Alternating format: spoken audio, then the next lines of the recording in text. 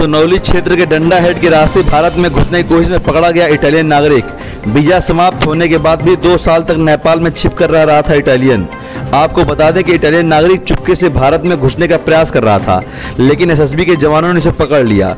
उसके बाद उससे पूछताछ किया गया और आज मंगलवार की सुबह इसके खिलाफ चौदह विदेश अधिनियम के तहत केस दर्ज कर उसे जेल भेज दिया गया।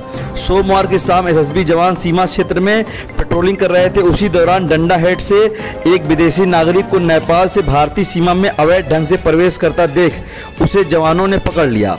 पूछताछ में उसे उसने अपने को इटालियन का नागरिक बताया। एसबी जवानों ने विदेशी नागरिक और पासपोर्ट और वीज़ा की जाँच के लिए इमिग्रेशन विभाग के अफसरों को बुला लिया। मामलों में देर रात तक जाँच पड़ताल चलती रही। सुरक्षा एजेंसियों ने पूछताछ के बाद इसे सुनौली पुलिस के हवाले कर दिया। पुलिस ने बताया कि पकड़ा गया फेडरिक नागरिक हाउस तेरह कैसीनोटिटी फाइनर इटली का रहने वाला है। 28 फरवरी 2020 को वह भारत में आया था और यहाँ से फिर मैार चला गया, जबकि उसके बीजा की अवधि 27 अगस्त 2020 तक के लिए वैध थी, लेकिन वह उसी दौरान कोरोना महामारी की वजह से वहीं रुका रहा। म्यांमार के वर्मा शहर से वह नेपाल में दाखिल हुआ और तभी से वह नेपाल में रुका हुआ था।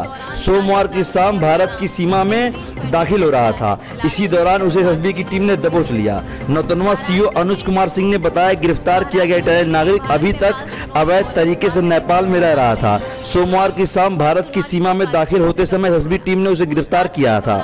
इमिग्रेशन की जाँच पड़ताल के बाद पकड़े गए फेडरिक नागरिक के खिलाफ चौदह विदेशी अधिनियम के तहत मुकदमा दर्ज कर जेल भेज दिया गया है। कल दिनांक 4 जुलाई 2022 को सशस्त्र सीमा बल द्वारा एक इटालियन नागरिक को पकड़ा गया है, जो कि नेपाल के रास्ते भारत की सीमा में घुसाया था।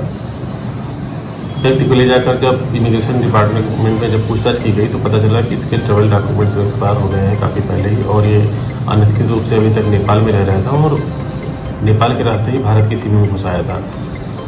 इमिग्रेशन डिपार्टमेंट की सूचना के आधार पर मुकदमा पंजीकृत कर लिया गया है, तथा शेष विधि कार्रवाई की जा रही है।